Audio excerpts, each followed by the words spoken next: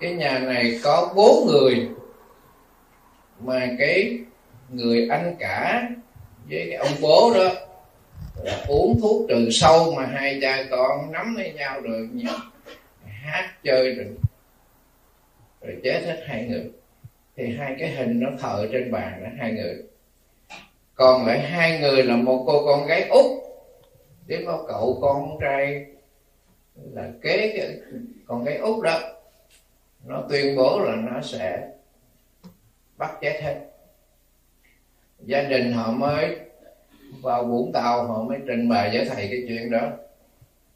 Mà lúc đó là rằm tháng 11 thầy nó không được. Bây giờ thầy bận là vía Di Đà 17 tháng 11 thầy đã sắp đặt cái đàn tràng lớn lắm, thầy đi không có được. Thôi bây giờ quý vị về là chiều 18 thầy ra là 17 với cái gì đà xong 18 thầy ra. Thì chiều 18 thầy lên phi trường Tân Sơn Nhất, thầy ra phi trường Cát Bi ở Hải Phòng. Thì quý Phật tử họ ra phi trường họ đón. Thì cái cô gái mà cái phong nó nhập nó cũng ra phi trường nó đón. Là mấy bà, mấy chỉ đó, nó ốp đây. Ở miền Bắc người ta gọi là ốp, mà trong miền Nam người ta gọi là nhập. Nó ốp đây. Rồi nó thôi đi về, đi tối lạnh lắm tháng 11 rồi lạnh lắm. Về tới nhà thì thấy nhà chật quá, bề ngang có 4 mét. Mà người ta để đóng giày cả trăm người thầy nói, thôi bây giờ có để yên công chuyện nha. Sáng sư thầy đến rồi sẽ sắp đặt cái chuyện ngày mai, đêm nay là ổn định. Ổn định thầy đi qua nhà phật tử thì ngủ, thì sáng thì trở lại thầy mới nói rằng 10 giờ tối hôm nay đi vớt giống, chỗ nào con chết đó, con dẫn sư thầy đến đó vớt nó đi thuê ghe rồi nó sắp đặt tất cả mọi việc hết. Là cái vong đó nó đi làm hết. Đúng 10 giờ thì trên cái chiếc thuyền nó có bốn người. Thầy là một, cái ông chèo thuyền đó là hai, một bà phật tử với cái cái cô gái mà cái vong nó nhập đó bốn người đi trên cái đoạn đoạn sông đó. Thì tới đó nó chỉ nó nói nhà con nó sư, sư phục nhà con đâu cái ông chèo thuyền ông nói trời ơi không có sư thầy tù lặn xuống sông luôn. Nó chỉ chỗ đó là nhà đó mà đâu có ai đâu. À, thầy mới trì chú thầy giới định nó cầm cái miếng giấy mà trời tối rồi quý vị mà nó biên ngay hàng thẳng lỗ nó người số 1 tên gì bao nhiêu tuổi chết ngày nào người số 2 từ từ lên đừng có chen lấn. Hay là tất cả được lên hết đừng có chen. Người số 4, người số 5, người số 6 đừng có chen lấn. Nó vừa biên mà nó vừa nói tức là người ta lên. Là nó nói, đừng có chen lấn tất cả đều được lên hết. 31 người 32 là Vũ Xuân Hải 27 tuổi là nó. Như vậy là nó bắt 32 người chết tại cái khúc sông đó. 32 người. 31 người nó là Vũ Xuân Hải 27 tuổi. Nó nói, rồi xong về. 32 người. Thôi về, lạnh quá. Rồi giải tán. Sáng thầy trở lại. Thầy làm cái lễ quy y. Cho là 32 người. Rồi chiều nó đưa thầy ra sân bay, thầy về thì thầy mới hỏi rằng, con chết cách làm sao? Bao nhiêu năm? Tay bắn con chết năm 1946 mà ở trên thượng nguồn á, rồi cái xác con nó trôi xuống cái khúc sông này, nó có cái vịnh nước nó xói xói này. Rồi cho cái thầy con nó nó không có trôi được, nó sinh lên.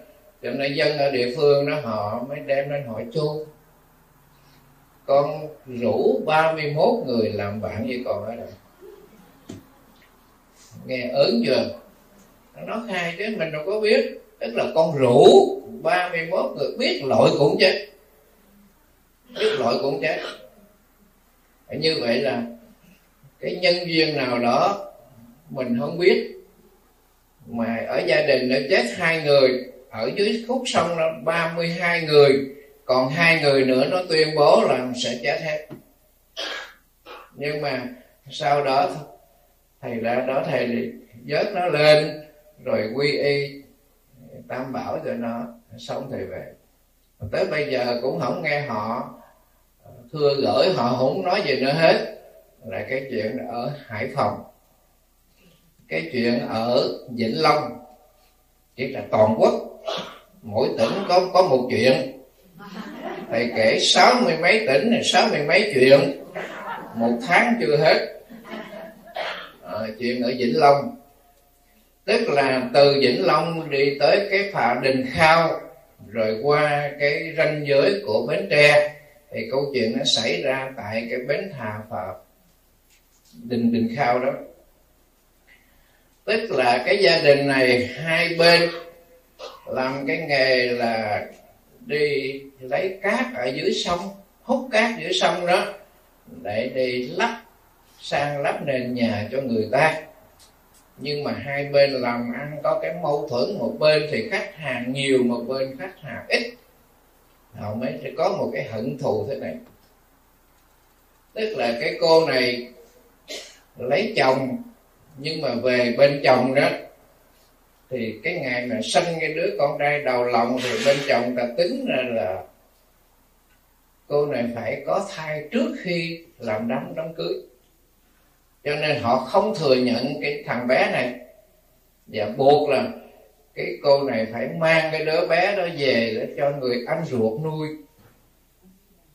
À, nó có gây cấn như vậy đó thì thằng bé đó được 8 tuổi. À, nó tên thằng Minh nhưng mà nó mập quá, ở nhà nó kêu thằng mập. Chứ mà tên của nó là tên thằng Minh. Thì gia đình bên chồng của cô này đó, thì có một cái âm mưu là muốn giết nó. Để là phao vô cho cậu nó. Cho nên mướn một cái bà đó. Để bà cầm một trên tay cái gì đó không biết. Bà tới nhà ông cậu nó, bà kêu mập mập ra bà cho cái này. Thì nó nghe cái bà già đó kêu nó mập nó chạy ra nó, nó liệu bà bế nó bà đem ra ngoài bà nhận nước chết. Chết rồi bà đem xuống cái bọng á mới nhét nó vô cái bọng. Cái bọng nước chảy đó mà. À, thì cái ông này ổng ổng làm giường thì nước ở ngoài sông.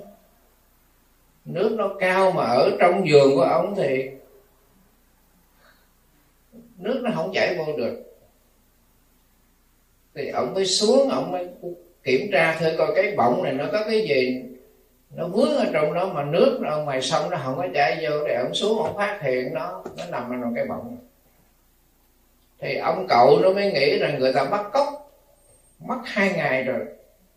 Tìm lặn lội dưới sông rồi kiếm rồi cứ nói ta bắt cóc luôn. Vì nó nó nó đẹp lắm. Cứ nghĩ họ bắt cóc tới chừng cái ông làm giường này ông phát hiện là có cái thằng nhỏ ở trong cái bọng này ai nhét trong cái bọng này thì cậu nó ra đem nó lên. Đem nó lên. Thì nhà quê người ta cử rằng cái người chết bắn chết trôi chết xét đánh thì không có đem vô nhà. Họ mới để ở ngoài sân là cái rạp để ngoài sân. À, thì hai vợ chồng này mới nghe nó cái thằng cái thằng thằng mập nó chết tội nghiệp tới thăm nó. Thì cái người chồng mới nói đó nè, thằng nhỏ nó đẹp quá, không có nuôi thì cho vợ chồng tôi nuôi, chứ vợ chồng tôi không có không có con, không có con trai. Mà giết không chi tội nghiệp. Mà chỉ nói câu đó thôi. Thì nó mới nhập vô cái đứa con gái của vợ chồng cái chú này đang lấy xe đạp đi học, nó nhập vô. Cái cái cái câu nói đó thằng mập nó đẹp quá. Không có nuôi thì cho vợ, chồng tôi nuôi chứ giết như tội nghiệp vợ, chồng tôi không có con có con trai. Vậy là nó nhập vô con gái của cái cái cái vợ chồng tôi đó. Mà quý vị biết con nhỏ nó 21 tuổi. Mà mỗi lần nó nhập vô đó là phải lấy cái bình sữa cho nó bú chứ còn đổ nước khoáng vô trong cái bình sữa thôi chứ không có gì hết. Nhưng mà phải có cái bình sữa có cái núm vú thì nó bú mới được. Chứ còn đưa cái ly nó uống uống đổ hết uống không được. Chạy cùng hết đi long khánh đi phan thiết đi dưới đi tôn ở dưới an giang này đi cùng hết. À, cái bữa đó hai mẹ con mới ghé chùa thầy trưa thầy đang nghỉ thì nghe dép đi lẹp xẹp đẹp xẹp thì thức dậy thấy hai mẹ con rồi có chuyện gì mà đi trưa nắng như thế? Mà mẹ nó kể đang kể câu chuyện đó đó à, cái đó chen vô nó nói. Cái chen nữa mà trong cái nhà của vợ chồng người chú này là có ba người. Nó đặt ba tên bà mỏ nhọn. Bà hung dữ. Đó là cái bà mỏ nhọn bà hung dữ. Cái bà gì nữa là trời đánh ba bà. À, bà mỏ nhọn im đi. Để con kể cho sư ông nghe. Nó kể hết câu chuyện của nó. À, cái bà già đó cầm cái gì trên tay đó đứng ngoài cửa kêu mập ra bà cho cái này con chạy ra thì bà bế con và bóp cổ chết. Bà mới nhét vô cái bọc bà nhét vô cái bọc khi mà cái ông làm giường đó ổng phát hiện thì cậu con ra.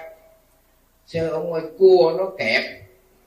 Đó, nó chỉ cua nó kẹp mấy cái ngón tay mấy cái lỗ lỗ tay nó, nó kẹp. Sức thịt hết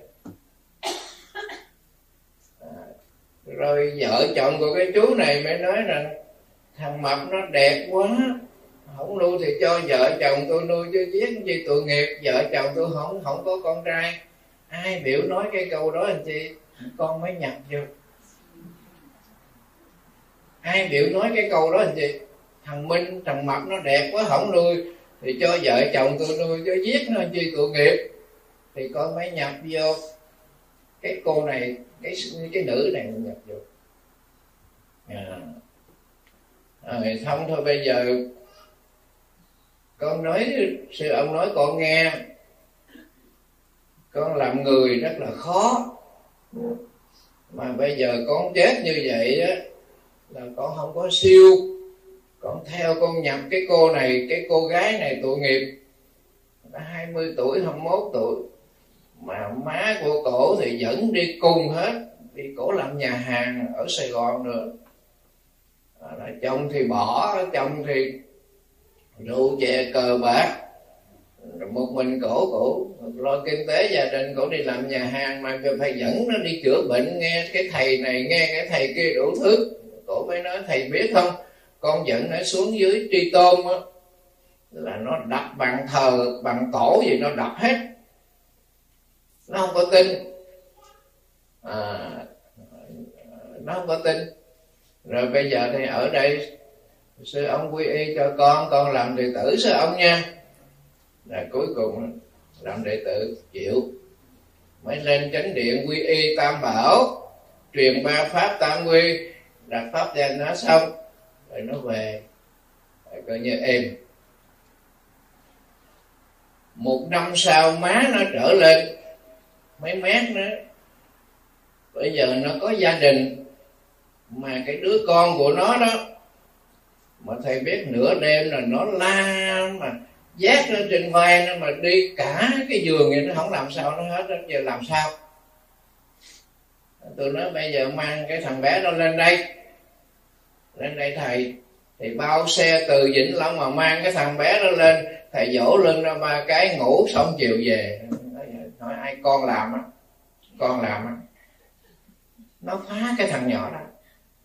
Con này có gia đình rồi, sanh thằng con trai cũng dễ thương lắm, mà nửa đêm nó muốn la, nó la nó la cả đêm, cả ngày không ai ngủ được mà dát lên trình vai nó la nữa. Nên thưa thầy thầy phải kêu nó đem lên lên thầy dỗ lưng ra ba cái, đem nó ngủ xong rồi về chứ nó có làm gì đó nó nói, con làm.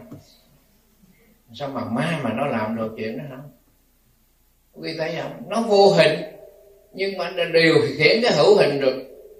Cái thằng bé này, nó làm cho con người ta khóc. Mà trận trồng trận trắng mắt kia nữa mà thì đi trên vai nó đi cả đêm không làm sao hết. Chở lên thầy để nó đem tay, rồi dỡ cái lưng lên thầy dỗ dỗ và cái đêm nó, rồi nó ngủ đi ăn cơm. Sống này chiêu về đâu có tốn tiền tốn bạc gì đâu. Mà nó nói nó làm nó làm được à, thầy mới nói bây giờ đó sư phụ dặn con nha không có chơi cái trò đó. Bởi vì sao? Con đệ tử sư phụ mà phải làm điều thiện phải làm việc có phước con làm cái việc ác lắm. Cái thằng bé nó con nít nó có tội tình gì mà con làm nó nó trợn trồng con mắt nó tím tay tím mặt ở trên nó khóc rồi la về đó mà ba má nó không làm sao hết mà từ đó lên đây, nhà đâu có khá giả gì bao nguyên chiếc xe từ vĩnh long lên đây, con biết tốn tiền bao nhiêu không? Con làm cái đó ác lắm, không có làm, ngày xưa ông không có cho làm. Nữa dạ thôi, hết, chấm dứt luôn. Thế thì bây giờ đi ờ, lâu lâu tết rồi rồi vợ chồng nó lên thăm, hỏi câu chuyện đó là sao con? Dạ hết rồi. Chuyện thứ hai và chuyện thứ ba. thì ờ, cái năm ờ, 2000 2008 ờ, thầy đi Âu Châu. Thì hôm đó thầy ghé chùa Viên Giác của thầy Như Điển. Mà lúc đó thầy đi thuyết pháp mình lễ du, lễ Phật đản, không có thầy ở nhà. Ở đó ăn cơm rồi này kia khác nọ rồi. Có cái cô đó cậu đến cậu nói, thưa thầy con sinh ra thì ông ngoại con chết rồi, con không có biết. Con về, con thấy cái hình thờ trong nhà đó, nói ông ngoại cho con, không có biết ông ngoại. Mà mấy ngày nay ông ngoại đó về, con nằm chim bao, con thấy ông ngoại về báo mộng rồi. Con về Việt Nam dẫn ông ngoại đi quy y. Như vậy là nghĩa là sao thầy? Tôi nói thì con đi về Việt Nam đi rồi coi ông ngoại dẫn sao chứ giờ nói vậy thầy cũng đâu có biết. Ông ngoại nói thì con cứ thầy về trước thì cái cô đó cổ về sau. Thì khi cổ về Việt Nam thì ông ngoại cô mới nhập vô một người. Cháu ngoại con của bà dì ở quận 12 không có nhập vô cái cô ở bên Đức vậy. Vì cái hai người là, là bà con bản gì về nhập cái cô con của bà bà bà về hai chị em dẫn xuống chùa hội phước mới xin quy y. À, thầy chấp nhận. Như vậy là thầy gặp cái cô này bên đức mà ông về ông báo mộng cho cái đứa cháu ngoại bên đức đó về việt nam dẫn ông quy y. Có đúng như vậy không? Ông mới nói dạ đúng. Con kêu nó đó. Nó về nó dẫn đệ tử đi quy y. Nhưng mà không quy y ở chùa hội phước, thì sẽ quy y ở đâu? Về long an, cần đước, quê của đệ tử đó quy y. Tôi nói cái chuyện nó lạ đó chùa ở đây không quy y quy y chùa ở đâu làm sao? Chùa ở đâu chứ mà quy y? Thì ông ấy nói là chùa Long Hoa mà hàng tháng sư phụ về thuyết pháp đó, cái đạo tràng niệm Phật đó. Biết vậy về đó vì vì con cháu của đệ tử đông lắm. Mà ở Vũng Tàu này nó không có đến đâu, nó đi, nó tốn tiền xe, nó keo kiết lắm. Gần nhà nó để chúng nó đến, chúng nó biết, chúng nó chứng kiến cái việc mà con về con quy y Phật. Vợ con, đi con cháu con nó tới đó, nó dự nó biết rồi thầy chấp nhận. Thì hôm đó thầy về thầy giảng cái chùa Long Hoa đó cái đạo tràng niệm Phật đó. Thọ trai trưa rồi thầy nói với sư bà rồi chiều nay sư bà cho tôi mượn chùa. 2 giờ đồng hồ 14 giờ tới 16 giờ chiều cho tôi mượn chùa. Thì bà hỏi, chứ làm gì? Tôi quy y cho cho Phật tử nói vậy thôi. Sư bà quan hỷ. Thì một giờ Ờ, thầy thức dậy, thầy thấy ở ngoài sân chùa đó là 15 chiếc xe gắn máy. Rồi mỗi chiếc nó chở hai người, tức là ba chục người, con cháu của ông nó tới đó. Vợ ông có đó, hai đứa cháu ngoại đó có mặt. Thầy lên chánh điện, thầy niệm hương, rồi thầy truyền giới cho ông đó. Ông đó là lê văn hiệp, tên lê văn hiệp 52 tuổi à, quy y xong rồi. Ông mới nói sư phụ ơi sư phụ cho con nói chuyện với đạo tràng ba chục phút. Thầy đưa micro cho ổng ổng nói chuyện với đạo tràng cũng đông như thế này nói chuyện ba chục phút rồi trả lại. Cái đứa cháu ngoại bên đức đó nó nói ông ngoại ơi ông ngoại chết ở đâu ông ngoại chỉ cho con đem cái hài cốt ông ngoại về chứ bây giờ ở nhà đó bà ngoại làm cái mộ, nhưng mà không có cái quan tài. Giờ thờ cái hình như vậy thôi. Ông mới nói là, ông biết cho con. Ông học tập ở ngoài hoàng liên sơn á. Ông bị sốt rét, nhưng mà không có thuốc trị. Ông chết, lấy cái mời nó gói lại. Rồi sáng đó, anh em phạm nhân ở trong cái trại đó, khuyên ông ra ngoài cái hàng rào chuông ông biết chứ? Nhưng mà bây giờ ông theo thầy ông theo phật thôi bỏ đi con. Các bụi trở về với các bụi giữ cái đó làm gì? Nó năn nỉ hai lần không được. Thầy thêm một lần nữa cũng không được. Không không không không chị à, rồi. Ông mới nói với bà đó nói với vợ ông cái dòng họ của bà cái kiến họ của bà đó ăn ở có nhân hậu lắm, cho nên bà sống đến bây giờ tám mươi mấy tuổi. Còn cái dòng họ của tôi đó độc ác lắm. Cho nên toàn là chết yểu không tôi năm mươi năm mươi hai tuổi chết. Anh em tôi chết toàn là nhỏ không là cái dòng họ của tôi đó ác đức lắm. Còn cái dòng họ của bà nó ăn ở có nhân hậu bà sống là tám mươi mấy tuổi. Nhưng mà tôi quy y rồi bà phải quy y nha. Bà không quy y tôi với bà chấm dứt. à bà mới nói, thôi, bây giờ để tháng 11 đó là, tháng 11 biết gì đà rồi mấy đứa nhỏ nó chở tôi ra chùa, thầy tôi quy y. Ờ, tháng 11 bà ra bảo quy y. Đúng lời ông nó quy y. Ờ, đó. Bây giờ đó, nói với con nhỏ, cháu ngoại bên đức đó, về chùa hội phước cúng trai tăng nha con. Để hồi hướng con làm cái việc đó phước đức lắm. Té hờ ra đó, thì mới biết là kêu con nhỏ bên đức về nó có tiền, còn con nhỏ việt nam nó nghèo, nó không có tiền.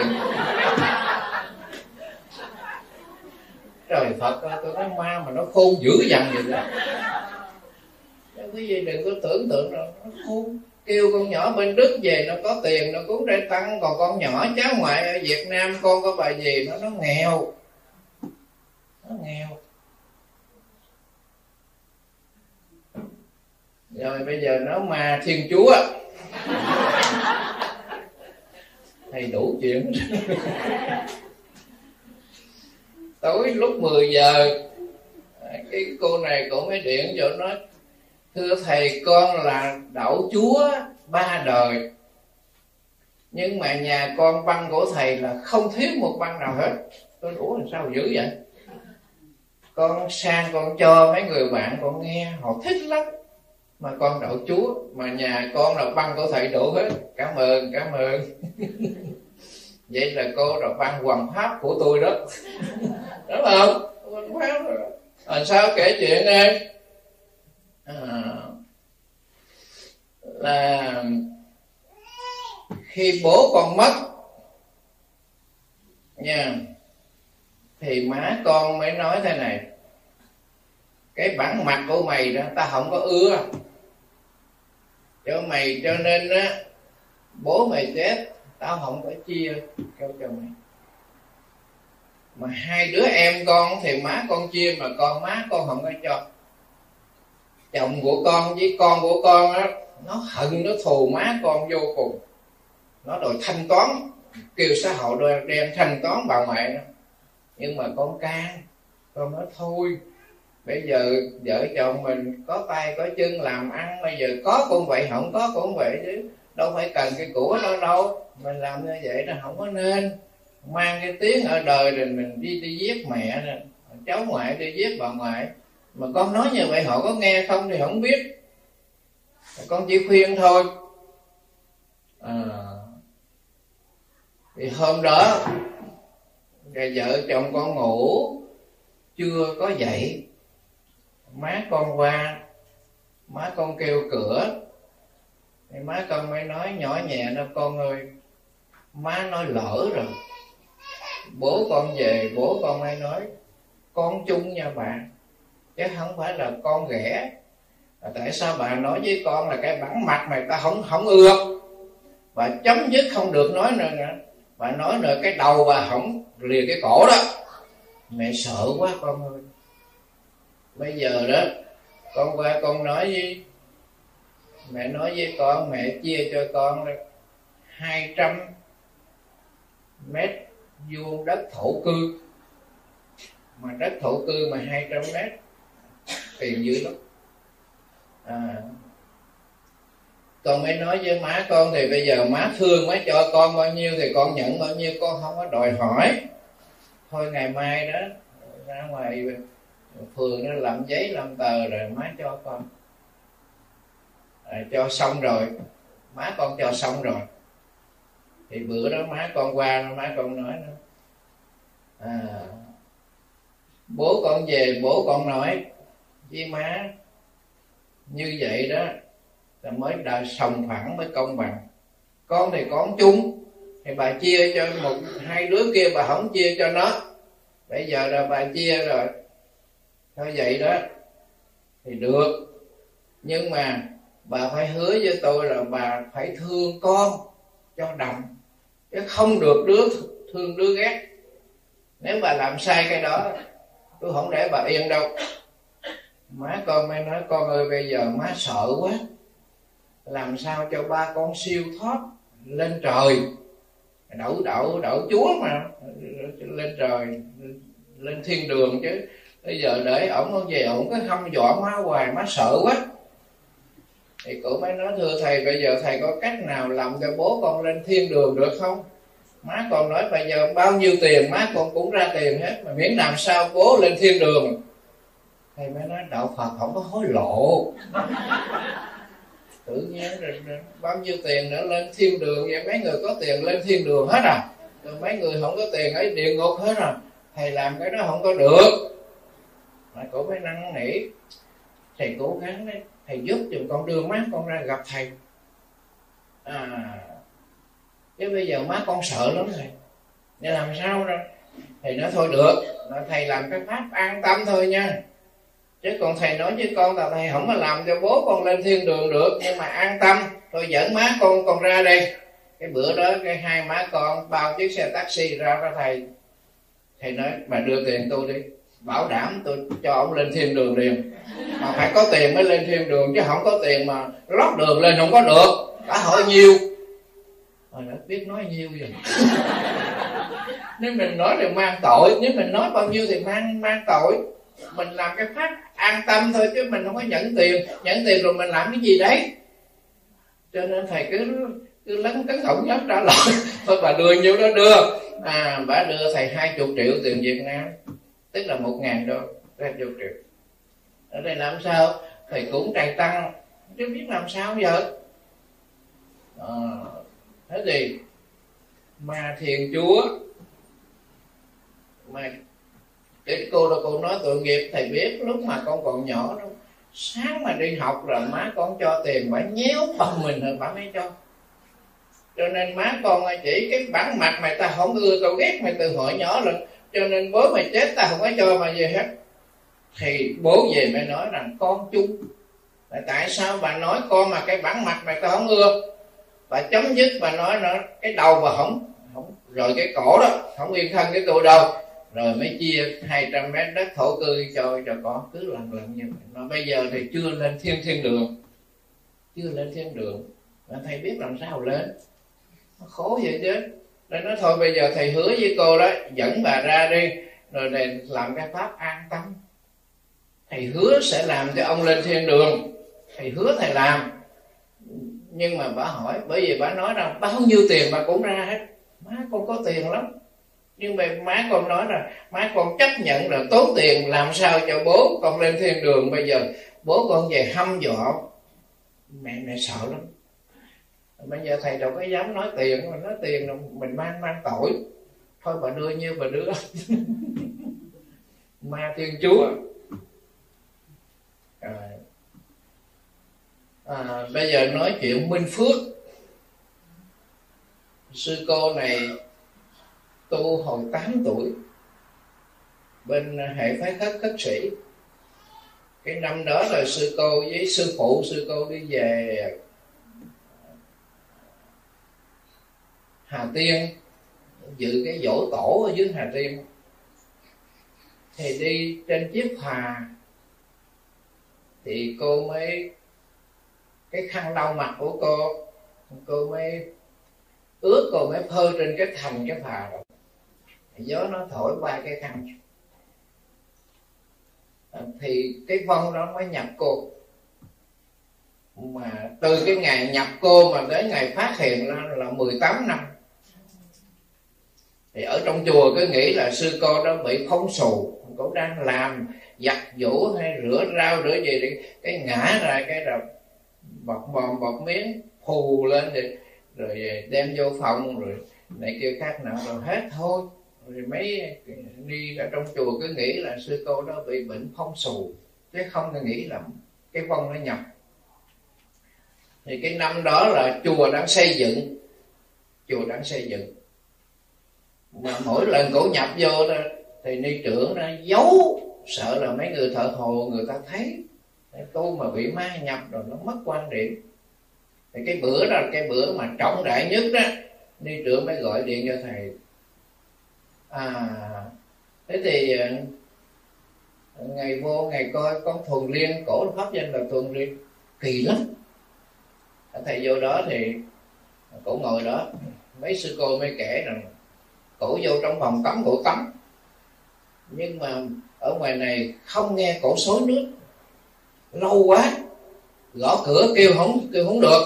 Mấy cô mới phá cửa ra, thì cổ ra là cái áo cái áo thất sĩ, năm thân cái áo màu vàng này máu từ ở trên này là ướt xuống hết này ni trưởng ngồi, ni trưởng rung, mới điện thoại cho thầy. Thầy thầy vô, ni trưởng mới nói nó làm cái gì mà máu không vậy thầy? À, thầy mới nghĩ là nó cắn lưỡi.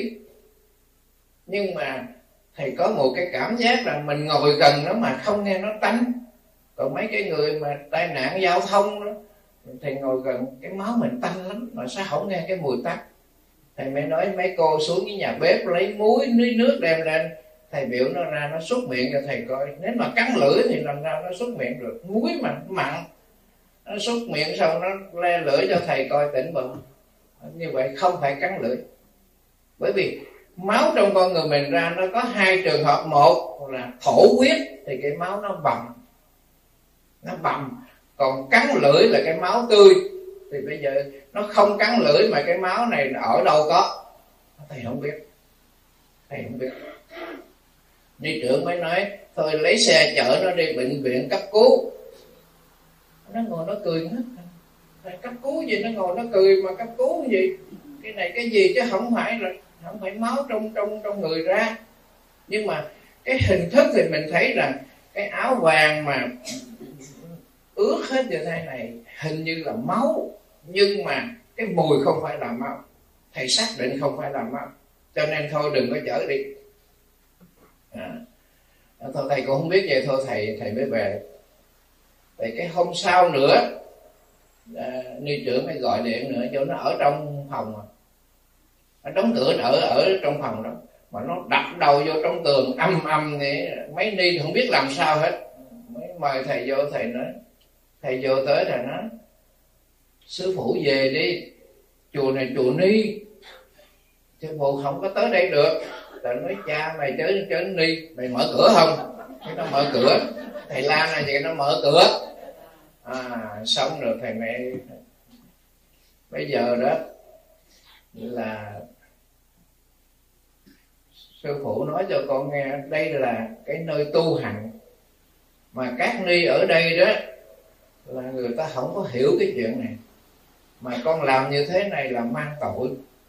Rồi bao nhiêu thợ thầy ở đây, thợ nó làm chùa đây, nó về nó đồn, nó nói rằng mấy sư cô ở trong cái tỉnh xá là là ma nhập. Nó làm cái chuyện náo động hết, không có nên. Bây giờ sư phụ khuyên con. Làm đệ tử sư phụ. Sư phụ sẽ độ con siêu thoát. Chứ bây giờ con không siêu thoát, mà con làm cái cảnh này thì con độ địa ngục. Con làm cho cái người tu hành mất thanh tịnh là con con con con có tội. Rồi nó đồng ý, nó chịu. Nhưng mà không quy y tại cái tỉnh xá này mà về chùa hội phước, vì cách tỉnh xá với chùa hội phước cách là năm cây số. Thôi bây giờ sư phụ về trước rồi con con ra nha.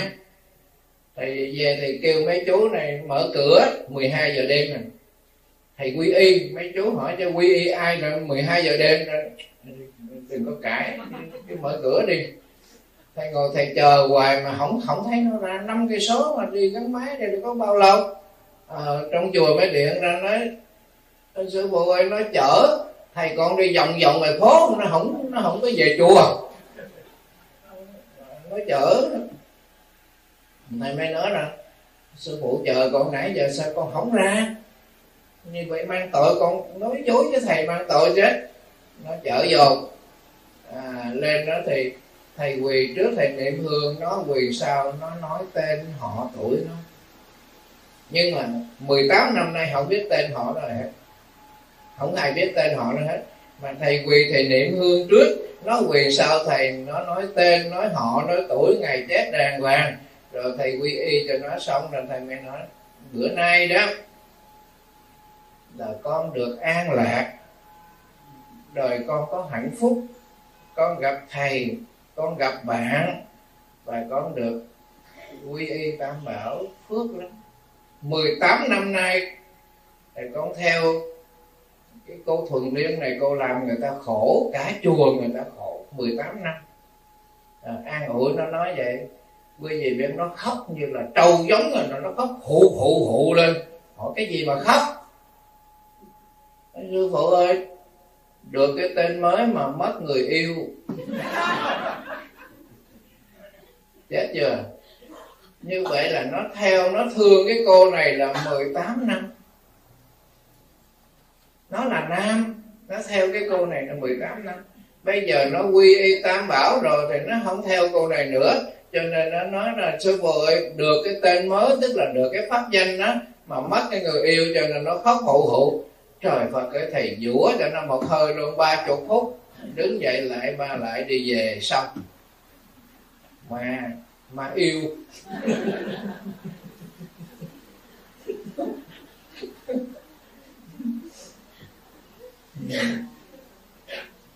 Rồi thầy kể chuyện tiếp quý vị nghe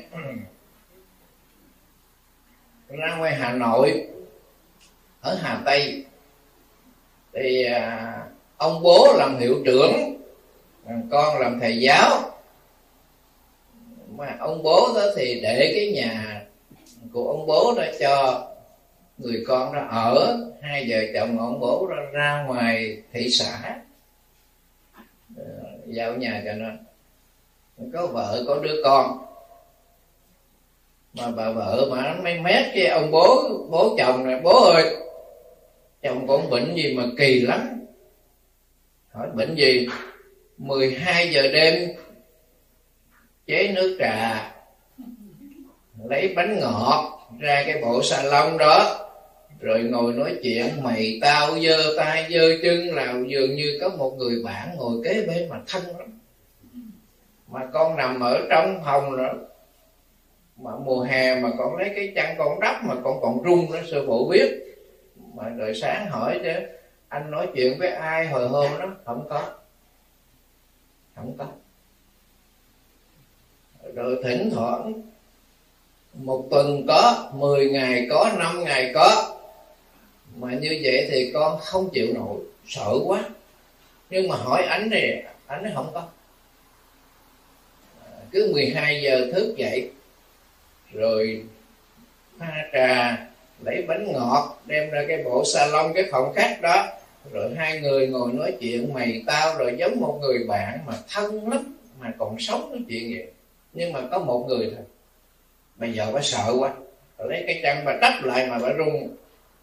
Thì hôm đó thầy ra thầy giảng cái đạo tràng ở chùa Nam Dư Thượng ở Hoàng Mai. Thì ông bố đó mới ra tâm sự với thầy. Thầy nói, hai giờ chiều này anh đem xe chở tôi vô, nhưng mà đừng cho nó biết. Tôi với anh đi thôi, đừng cho nó biết.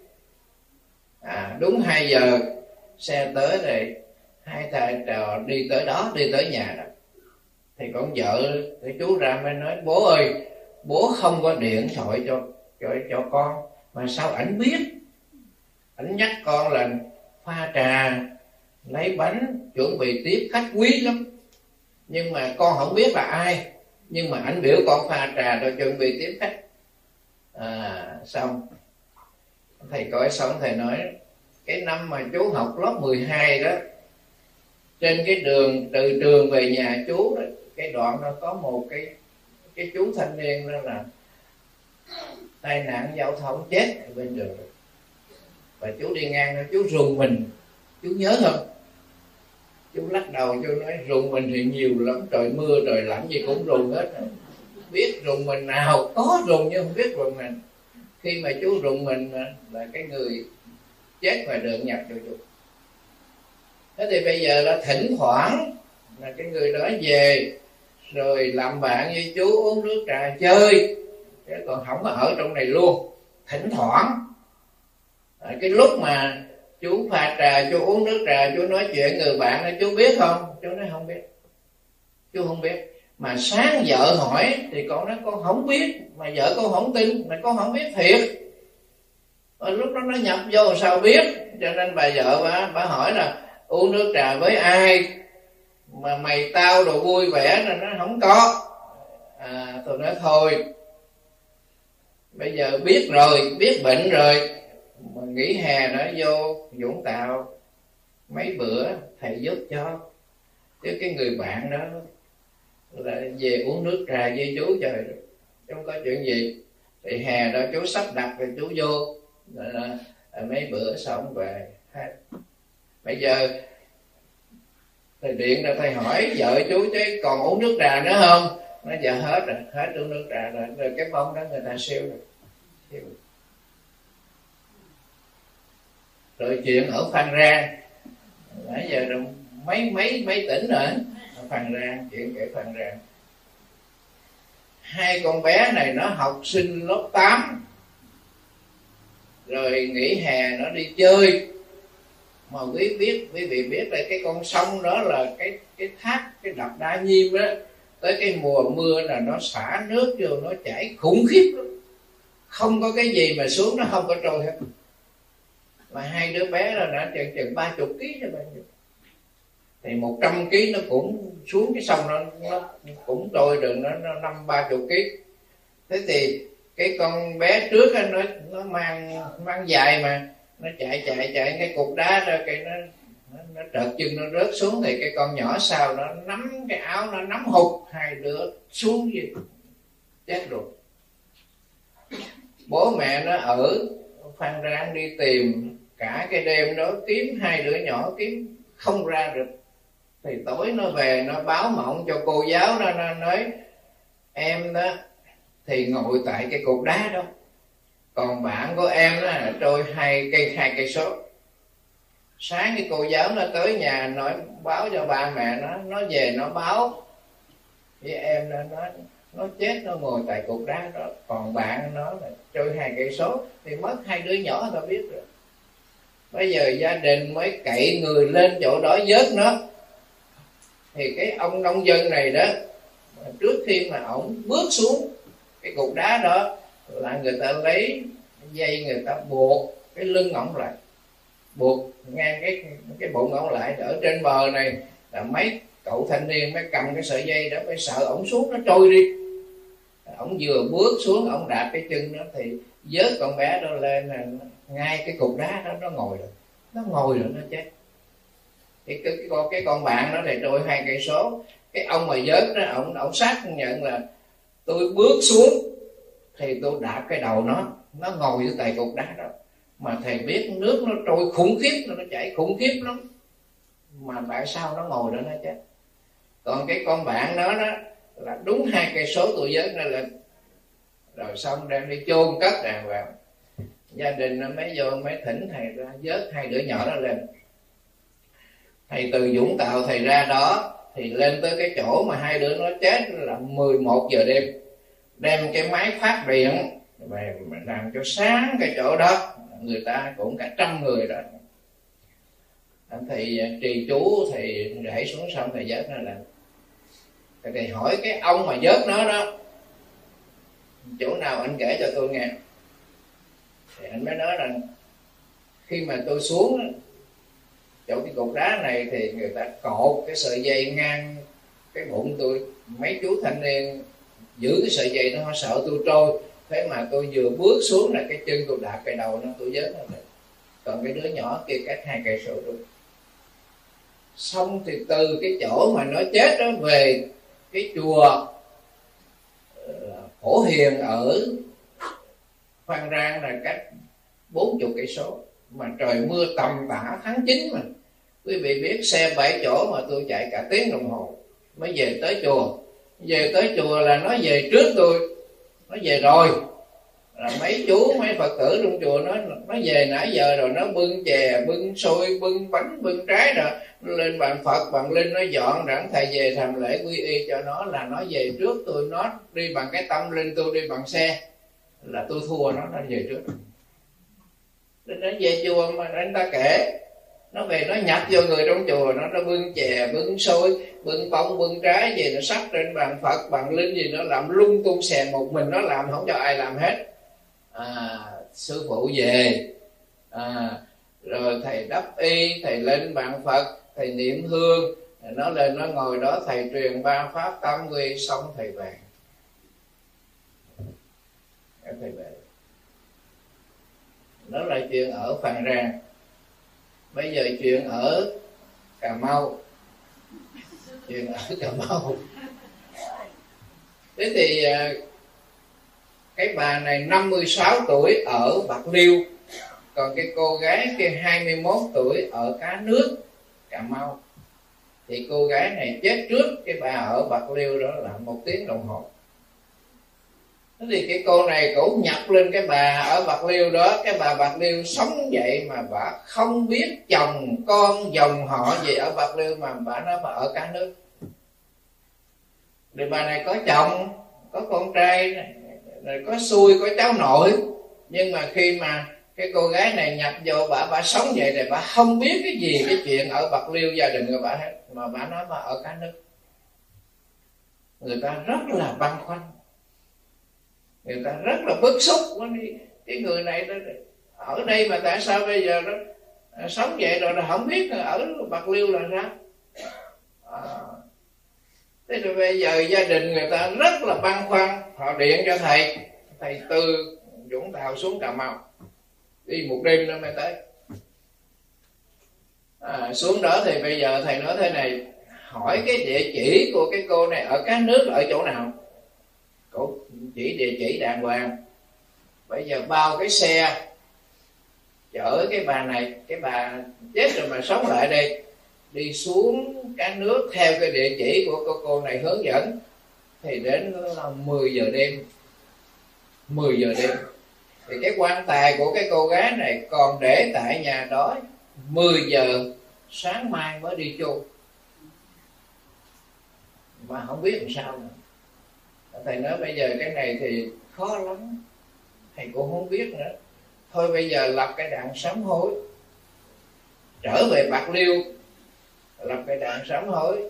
Mời quý thầy, quý cô ở chung quanh nó cũng năm, mười vị gì đó. Thầy chứng minh, thầy niệm hương để cho gia đình quý thầy tâm ni đó là sám hối từ bi sám pháp đạo tràng. Ba ngày, ba đêm cái bông nó xuất ra, bà này chết thiệt. Cái bông nó xuất ra thì bà này chết thiệt. Phải, ba ngày ba đêm như vậy là suốt nó năm ngày năm ngày. Hai ngày đầu với ba ngày nữa là năm ngày. Bà này bà sống được năm ngày. Mà cái hồn đó là của cô con gái ở cả nước. Năm ngày. Nhờ cái pháp sám hối đó mà họ được siêu. Rồi cái bà này chết nhà tại chùa đó là chuyện ở cà mau. Chuyện ở cần thơ. Ai ở cần cần thơ. Gần chùa khánh quang cách có mấy căn thôi. Cần thơ có hai cái chùa cái chùa khánh quang và cái chùa phật học. Cần thơ sát bên chùa. Thế thì ba mẹ của cô này ra chúng ta mới thưa với thầy cái chuyện lạ lắm thầy. Con gái con 23 tuổi nó đang học đại học kinh tế của trường đại học Cần Thơ. Mà cái bông này nó nhập vô.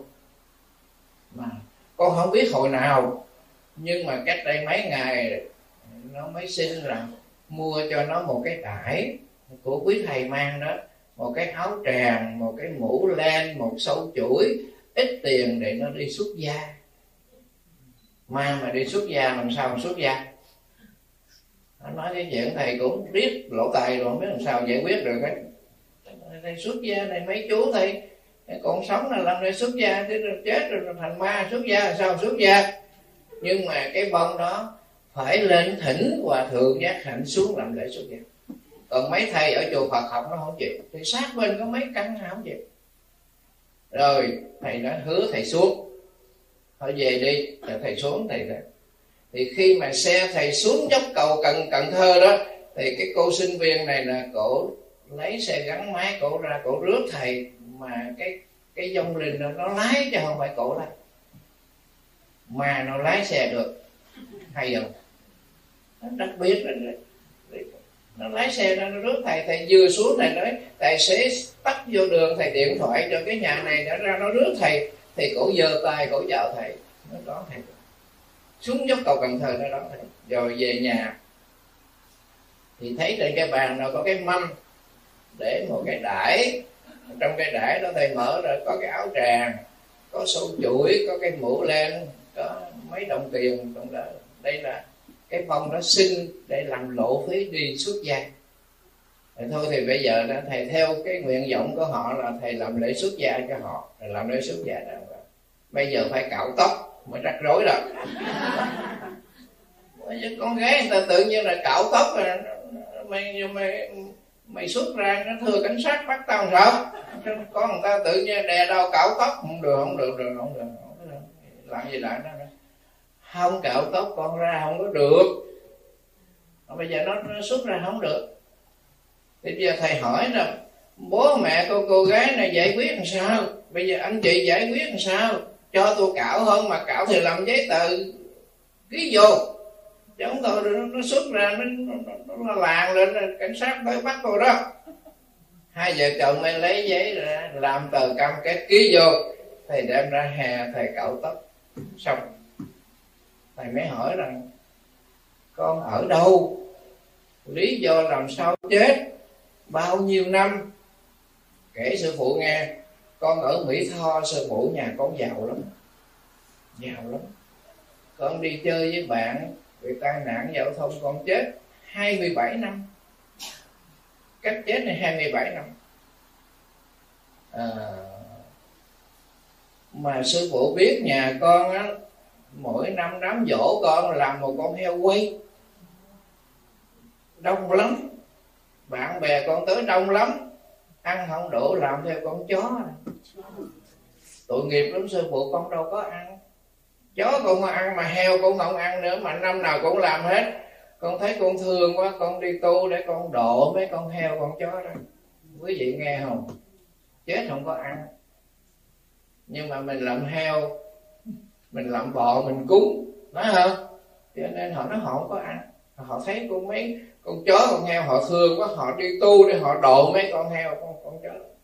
Thầy hỏi ta tại sao con không về con nhập người trong gia đình con? Con nói mấy linh để con nhập ở đây nói ai nghe? Không phải dễ đâu, sư phụ tìm được cái người mà nhập không phải dễ đâu, phải có cái duyên mới nhập được. Cho nên ờ, ở đời ta nói là ma bắt coi theo mặt người ta. Chứ đâu phải ai nó cũng nhập được đó thầy hỏi tại sao con không nhập người trong gia đình con? Mà con nhập cái người ở đây thì cần thơ chứ mỹ tho nó xa rồi nó ai biết đâu. Chú nói là không phải dễ đâu, sư phụ. Khó lắm phải tìm cái người mà có cái duyên với ngài. Cái à, thế thì sao đó rồi thầy mới mang cái nải đó mang cái áo tràng đó mang cái mũ đó mang sâu chuỗi đó về chùa thầy thầy cho mấy chú. Nó về nó không chịu. Của con mà sư phụ. Nhà đó coi thì mình cứ tưởng là cái chuyện rồi thôi. Ba cái đồ này cái đồ nhà tu để cho mấy chú thầy nó về nó nó của con mà sư phụ phải lấy của mấy chú lại, đem đốt. Thầy mới nguyện cho nó của con. Tâm linh. Câu chuyện tiếp theo là ở tỉnh bến tre. Cứ mỗi tỉnh có mỗi chuyện thì cái anh này là tu sĩ, nhưng mà hồi xưa là để trốn quân dịch sau giải phóng rồi anh mới về lập gia đình. À thì sau đó anh đi dự cái lễ tân gia của người bạn nó cho anh uống bia. Anh về anh đi xình sàn qua cái cầu cái cầu ở nhà quê mà cái cây dừa nó bắt ngang nó tròn này anh té xuống cái vườn này anh chết vậy đó. Anh chết vậy đó. À, như vậy từ cái năm mà anh chết cho đến cái năm mà anh về anh báo cho đứa con gái. Ở Vũng Tàu, nó làm ăn ở Vũng Tàu nó có chồng mà. bữa đó cô con gái nó đến chùa nó sư phụ ơi, bố con chết lâu rồi. Nhưng mà chết ở dưới cái cầu, đi dự cái đám tân gia về uống bia về, bố sai, bố té, bố chết không ngày hay hết mà bố nói bố chưa có lên được sư phụ về dưới, sư phụ vớt giùm bố con. Thầy xuống đó thì vớt anh lên. Thì khi về nhà đó à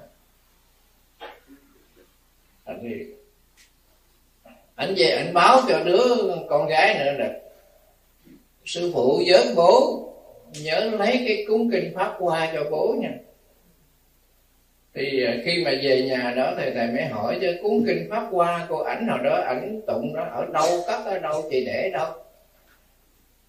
Chị bắt ghế lên chị lấy cái cuốn kinh pháp hoa để để cái bằng phật mà thờ cao ở trên đó.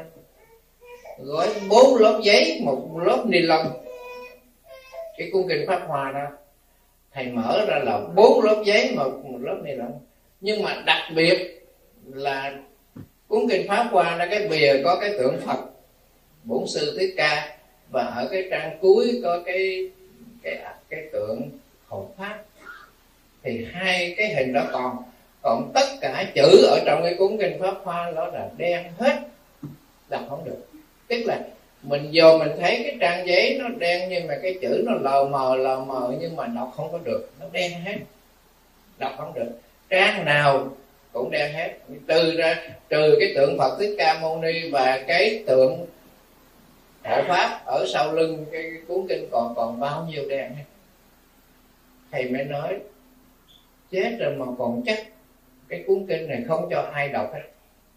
Mình thì cố anh anh không cho ai đọc hết. Cho nên bà vợ đem cái cuốn kinh đó gói lại để trên cái bàn phật đó mà 20 năm dở cái cuốn kinh đó còn nguyên còn mới tinh nhưng mà lật trong cái trang kinh thì không có cái chữ nào hết. Thầy mới đem đem về. Thầy biết làm sao bây giờ? Không biết làm sao hết.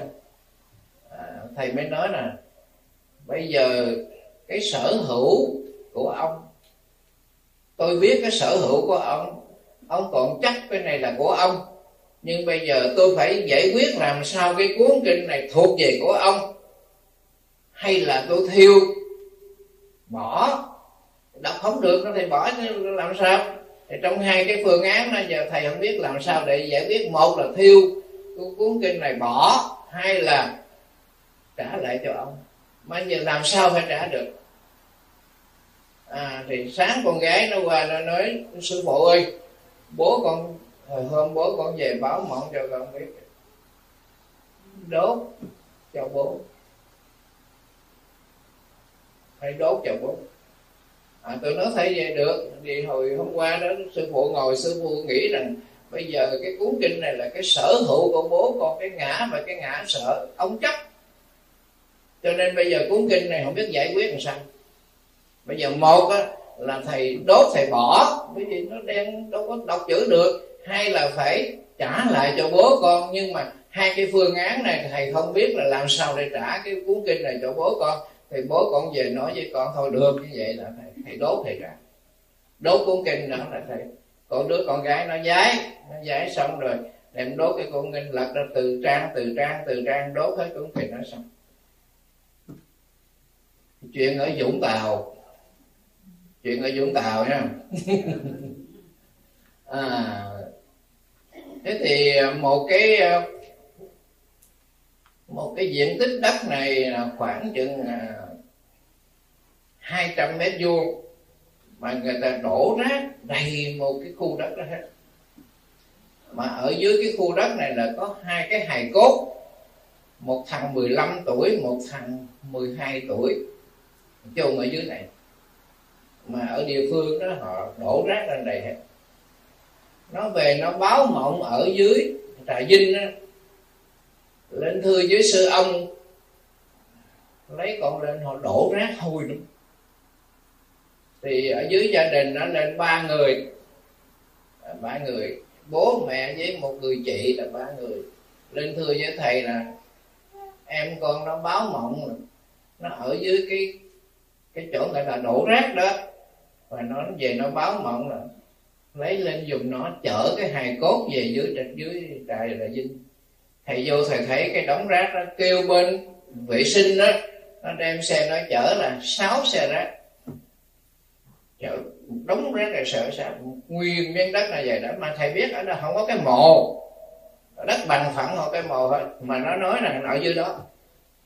Thầy mới nói bây giờ là mấy chú lấy nhang đốt đem cho thầy để một bó nhang rồi để cắm. Vòng vòng vòng đó, cứ năm tấc cây, năm tấc cây, nguyên một cái khu vực đó đó. Thầy giái nó coi chỗ nào nó chỉ thầy. Cắm xong thầy giái nó, cái cây nhang nó rung rinh liền, nó rung rinh liền.